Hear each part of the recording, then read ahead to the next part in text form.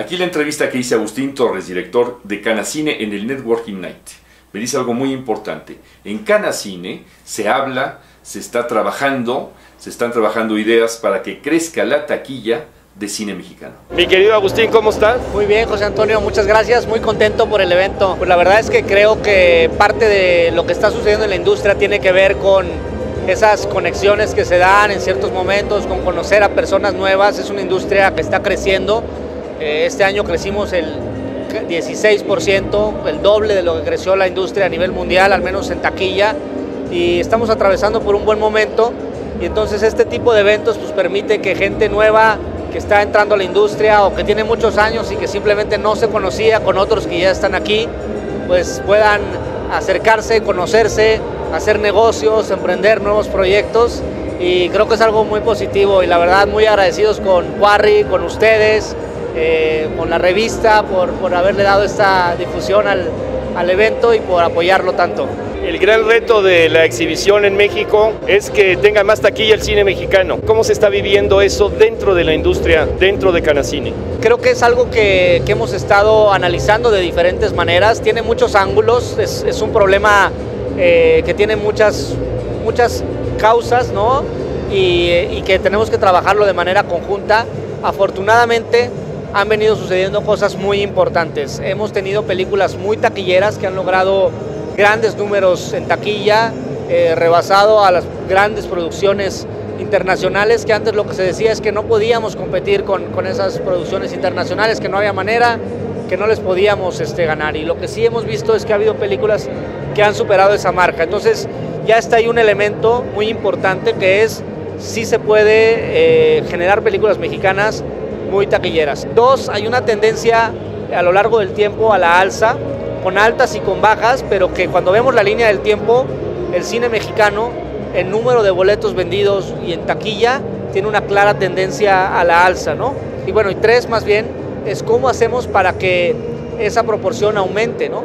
Y aquí creo que hay un aprendizaje, hay un proceso de aprendizaje eh, en la, que está sucediendo, porque realmente pues la industria hace pues 15 años se murió prácticamente y ha resurgido en los últimos 15 años. Entonces está por un lado ese proceso, de aprendizaje, por otro lado muchas áreas de oportunidad que tenemos eh, en la exportación del cine mexicano, por ejemplo, que es algo que hoy es prácticamente nulo.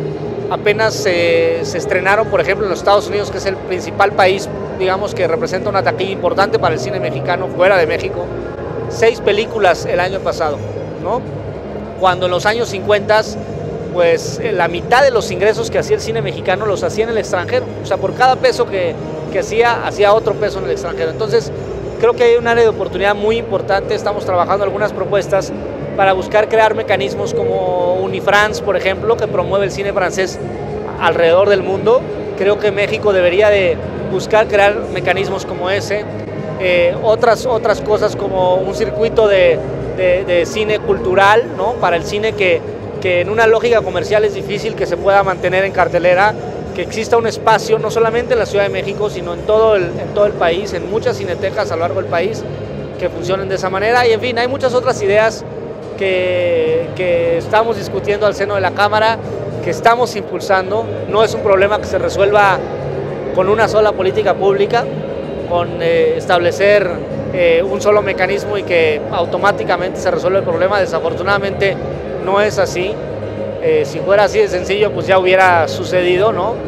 Y bueno, pues ese es el, proceso que estamos y en donde estamos invitando a todos los socios a participar, a discutir, a proponer. Estamos trabajando muy cerca de, de, del IMCINE, revisando las reglas de, de los fondos, del EFICINE principalmente, eh, buscando mecanismos también de apoyo a los cines independientes que también están eh, buscando cómo digitalizarse, cómo eh, ser, permanecer vigentes. Y bueno, pues en eso, en eso estamos, mi querido José Antonio. También hay muchos cines independientes, cerca de 400 o algo así. Casi 500 salas de cines independientes a lo largo del país. Y, y bueno, pues este, son cines que están en, en, en diferentes partes del país, con tres principales cadenas dentro de los independientes, que es eh, Cinemas Henry, Cinemagic y City, City, Cinemas, pero pues con muchos otros que tienen un cine, dos cines, y, que, y que están pues eh, como pequeñas y medianas empresas haciendo su trabajo, modernizándose, eh, digitalizándose y, bueno, y muchos de ellos ya forman parte de la Cámara y creemos que pues es algo que, nos hace más fuerte, antes hace más fuertes, antes no estaban en Canacine, ahora están en Canacine y, pues tenemos un diálogo eh, muy enriquecedor eh, que creo que es bueno para, para la industria en general. Pues buena suerte. Muchas gracias, ¿eh? Muchas gracias.